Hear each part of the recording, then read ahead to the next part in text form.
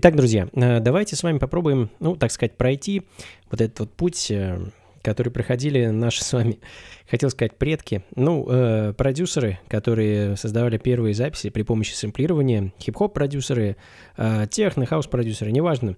Э, все изначально пользовались одной техникой, которую постепенно совершенствовали, усложняли, улучшали, Э, обогащали и так далее, и так далее. Но начиналось все с простого, с простого так называемого, так называемого лупинга. То есть брался, брались лупы, брался драм-луп, брался луп сэмплов, и, в общем-то, он копировался, растягивался на несколько минут, и таким образом получался трек. А, сверху этого трека могли играть на музыкальных инструментах, могли читать, петь, э, ну и так далее, и так далее. Делать, в общем-то, все, что угодно. Он становился основой. А, ну вот в качестве основы я решил использовать барабаны и э, пару сэмплов. Такой вот драмлуп, э, простой, незамысловатый, срезанный из пластинки. Вот таким вот образом он звучит.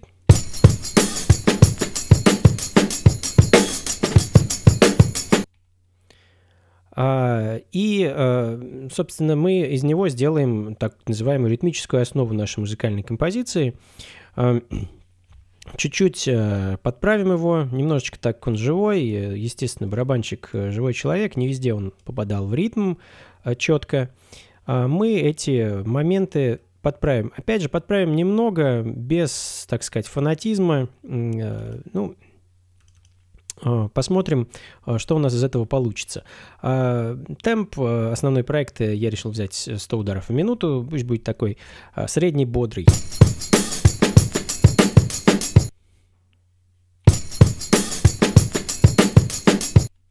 Ну вот, э, ставим метки в начале и в конце нашего такта. Здесь он заканчивается. Соответственно, сюда все приходит. Э, ну, я думаю, даже, может быть, и достаточно. Еще чуть-чуть буквально подправим. Э, слишком это все сильно редактировать не будем, так как не хотим превращать наш э, живой драмлуп в такой статичный, неинтересный.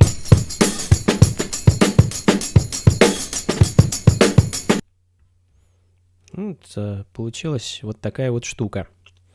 Давайте мы его из него сделаем квадрат, так называемый. Четыре такта. Вот так. А, и а, сделаем луп на этих четырех тактах.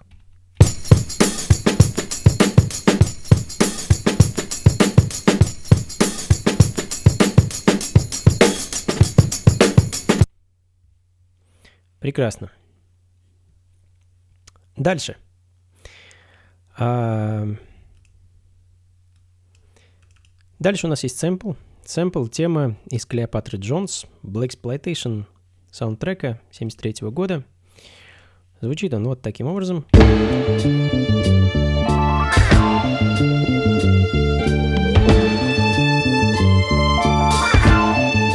Ну и так далее. А, также его немножечко подправим.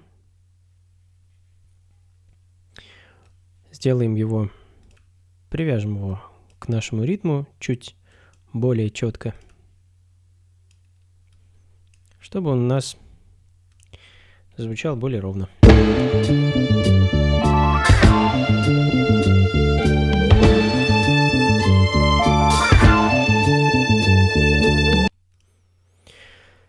Так это звучит вместе с барабанами.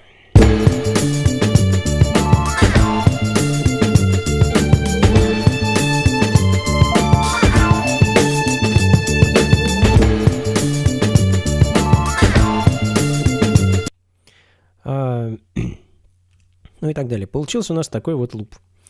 А, давайте сделаем из него не один квадрат, а два, чуть его удлиним. Пусть он у нас будет вот таким. Ну и, соответственно, наш драм-луп также сделаем. Получается у нас такие вот два такта. Ой, точнее, четыре такта. Раз, два, три, четыре. Раз, два, три, четыре.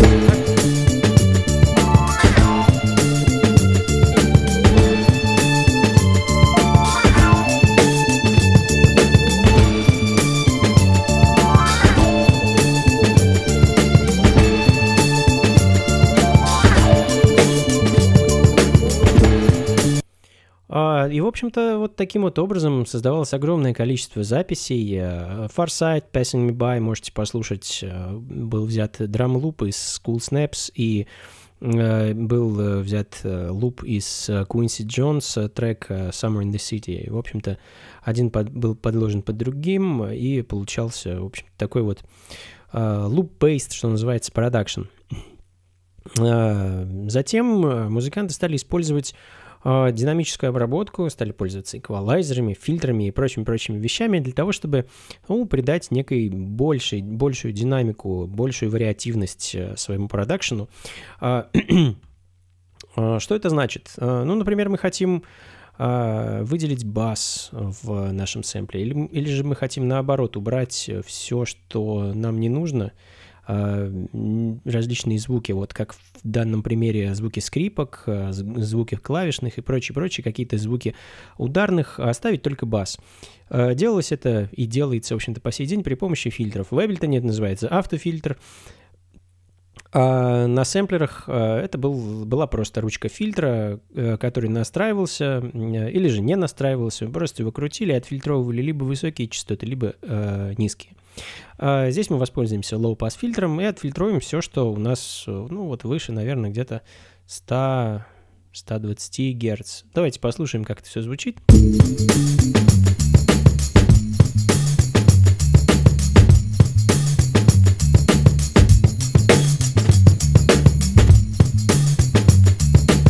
Ну, то есть фактически у нас остались такие барабаны и бас-гитара.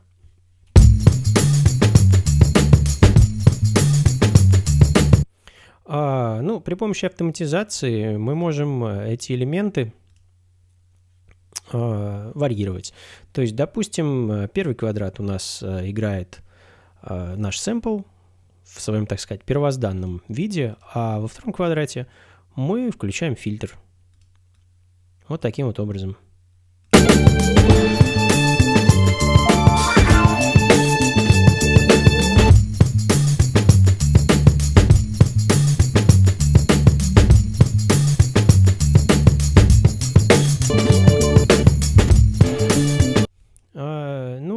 Собственно, а, опять же, получается у нас а, такая вот вариативность. Можно это назвать куплет-припевом, можно называть как угодно. Ну, допустим, здесь у нас э, э, играет куплет, мы, точнее, начинаем с припева, затем у нас включается куплет, ну и так далее, они варьируются. А, далее у нас есть еще один сэмпл, такой вот интересный, также из одной Black Exploitation картины, at Night называется трек.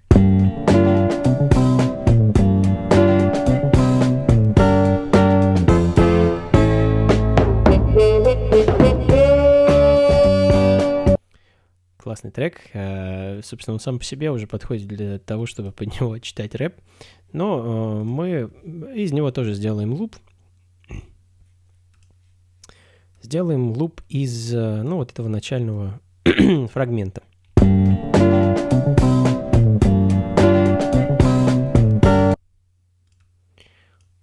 Вот так вот. Не мудрствуя лукаво, что называется, просто сделаем такой вот луп. И э, при помощи фильтра уберем на этот раз низкие частоты, оставим только высокие.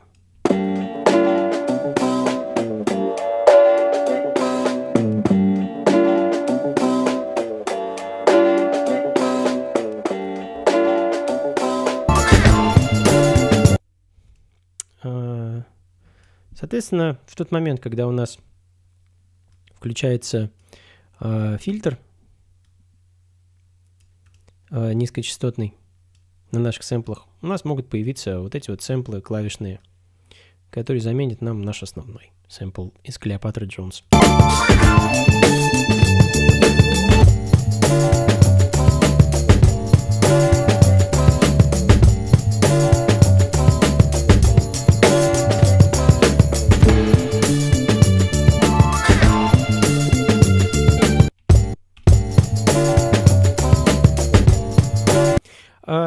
Сэмплы не очень э, сочетаются даже друг с другом по тональности, это можно поправить. На самом деле я это уже здесь сделал, вот у меня готовый проект Давайте это удалим, просто чтобы не тратить э, лишнее время.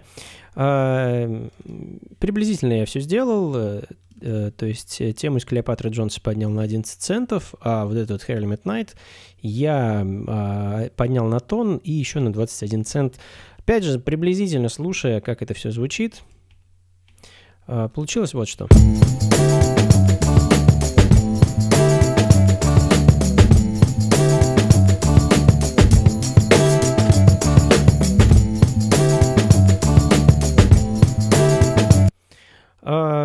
Далее продюсеры 80-х и 90-х годов, ну, наверное, по большей части 90-х, конечно, э, ну, как-то старались эти вещи варьировать. Э, делать это можно было, на самом деле, э, даже не пользуясь сэмплерами, не пользуясь акаями, или SP12, 12.00, э, можно было это делать, делая записи на пленку и как-то вот ее нарезая. То есть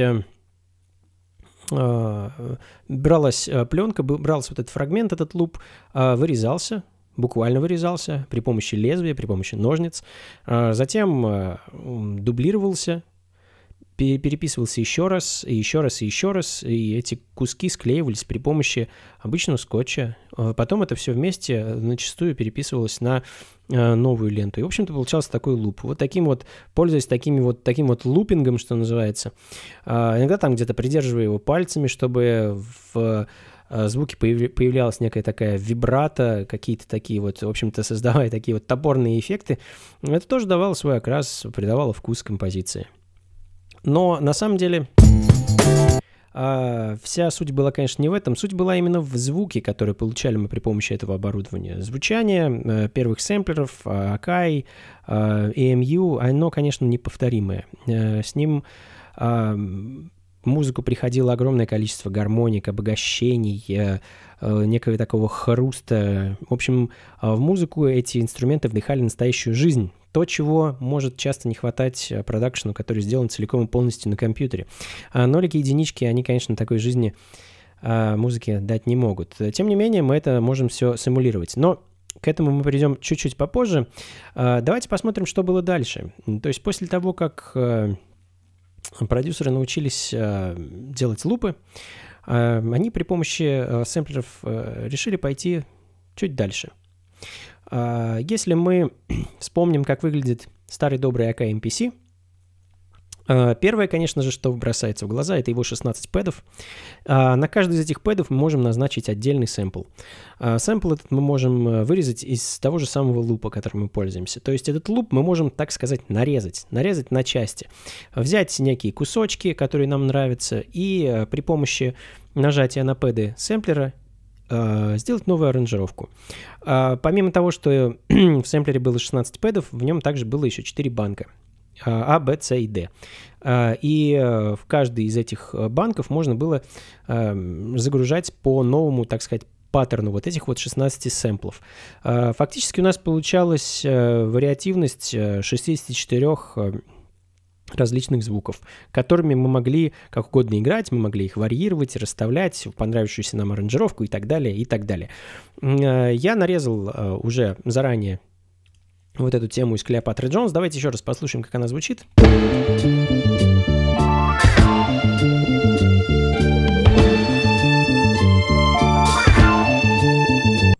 А здесь, загрузив ее в обычный симплер и нарезав на кусочки, просто расставляя маркеры в нужных мне местах, а, я а, сделал вот э, так, такую вот а, незамысловатую нарезку э, на, 30, на 32 кусочка. Не на 64, а на 32. А, и э, с помощью этих вот кусочков я теперь могу сделать какую-то новую аранжировку. То есть играется все, ну, вот таким вот образом.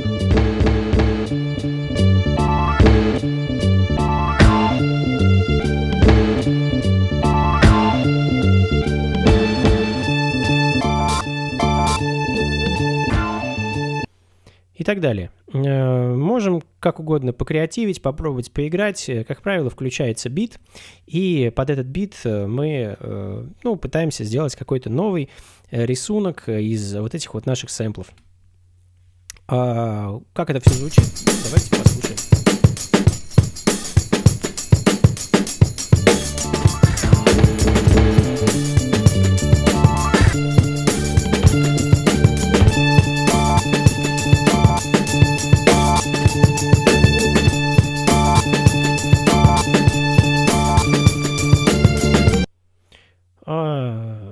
Итоге у меня получилось э, что-то вот похожее на такую вот аранжировку.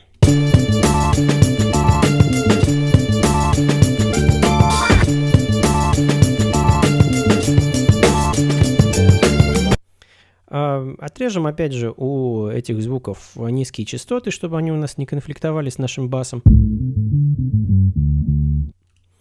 И э, далее я еще повесил сюда такой небольшой дилей, задержку, которая нам позволит, э, ну, так сказать, склеить э, наши вот эти отдельные звуки друг с другом. Э, неким таким вот небольшим коротким эхо они будут э, переливаться друг в друга и э, делать э, такой, э, ну, как сказать, э, ну, э, некое такое представление того, что это э, самодостаточная такая музыкальная аранжировка, а не нарезка из э, сэмплов. Так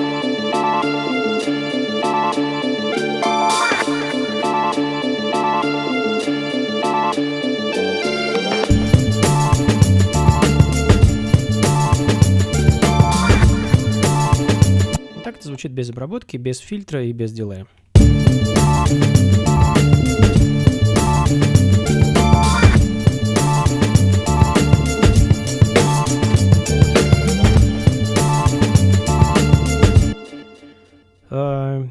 Вот, собственно, за несколько минут мы с вами проделали путь от э, а, второй половины 80-х к второй половине 90-х годов. Э, подобным способом пользуются продюсеры и в наши дни.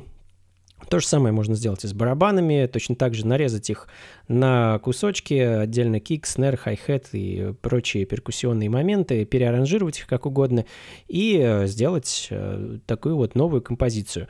А является ли это плагиатом, является ли это каким-то ну, я не знаю, преступлением или каким-то нечестным моментом, что мы используем чужую музыку в своих, так сказать, корыстных целях. Вопрос спорный, об этом спорят многие, и, думаю, будут спорить еще очень долго.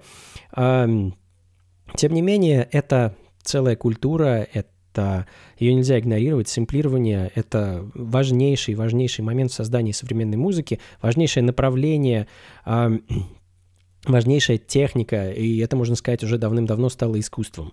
А, э, ну, э, чуть-чуть, э, пойдем чуть-чуть дальше.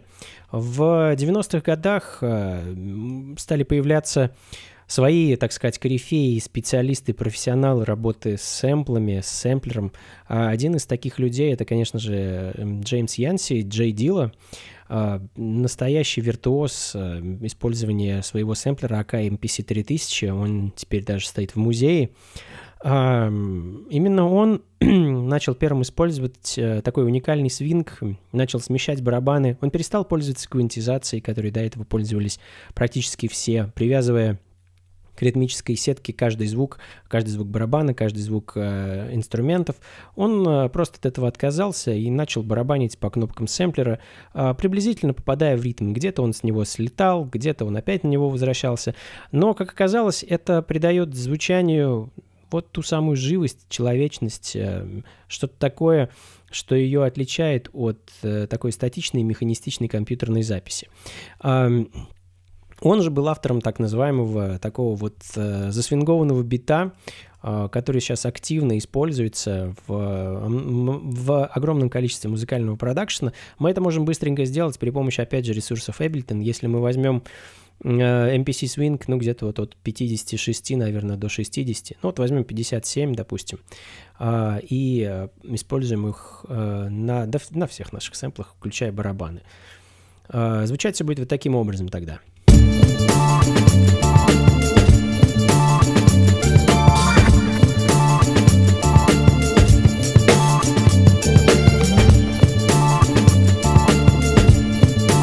А, ну и, конечно, можем еще повесить sidechain. А, у нас есть отдельная дорожка а, для этого. Отдельная дорожка, на которой я просто создал drum rack и в него повесил один единственный звук kick а.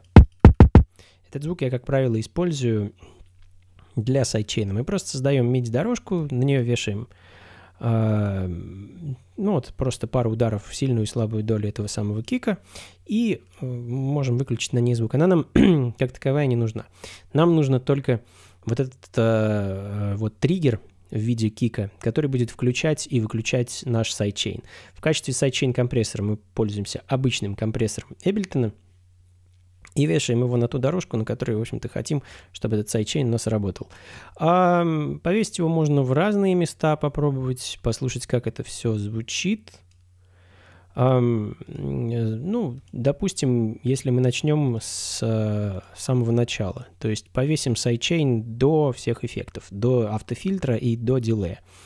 А, выбираем в Audio From нашу дорожку с барабанами SC, я ее назвал. А, ну и далее убираем колено, делаем быструю атаку, относительно быстрый релиз, а, выкручиваем отношения в бесконечность. Ну и вот слушаем, что у нас получается.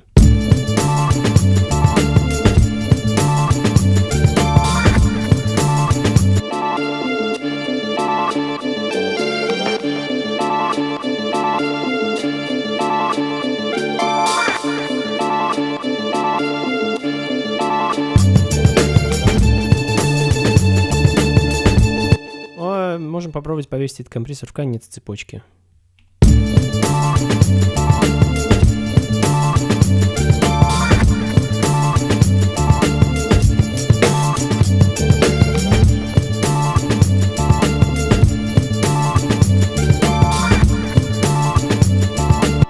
А, вот так все меняется. Его же можем повесить и на нашу дорожку с басом, точнее с нашими сэмплами, из которых мы сделали бас. Тоже можно попробовать повесить его в начало, повесить его после фильтра, повесить до.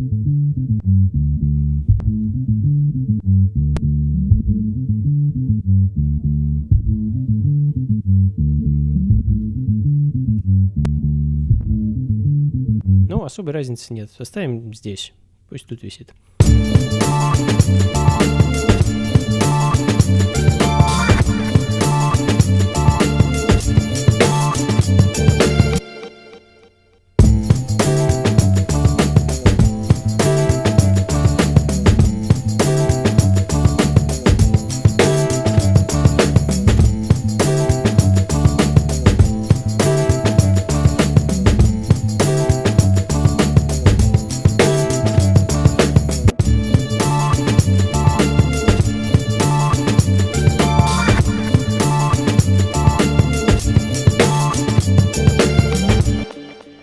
Что у нас получилось, друзья.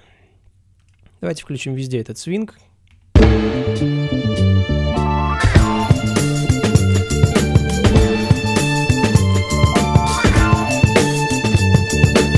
А, это, можно сказать, такое сэмплирование в лоб. А, если а, идти более креативным путем, конечно, хочется эти сэмплы каким-то образом замаскировать, может быть, их видоизменить до неузнаваемости, так сказать. сделать из них какой-то, может быть, отдельный музыкальный инструмент и дальше положить их в основу музыкального произведения, либо сделать их неким таким сопутствующим элементом. Как угодно, в общем, здесь уже все зависит от того, какого результата мы хотим добиться. Ну, э, тем не менее, мне кажется, получилось э, интересно, познавательно и музыкально. А на курсе создания современной музыки сэмплирование одно из важнейших занятий, и им мы занимаемся э, достаточно долго, исследуем все его аспекты, все его нюансы. И ну, занимаемся им довольно продолжительное время, ну, буквально наверное, уже где-то с, ну, с первой части курса мы уже в это погружаемся. И это на самом деле очень интересно, очень креативно. А, в марте месяце начинается новый поток, и я с удовольствием, друзья, а, с вами на эту тему побеседую, на тему сэмплирования, на тему современной музыки, о том, как она создается, расскажу вам обо всем, а, все секреты и тайны, все вам раскрою.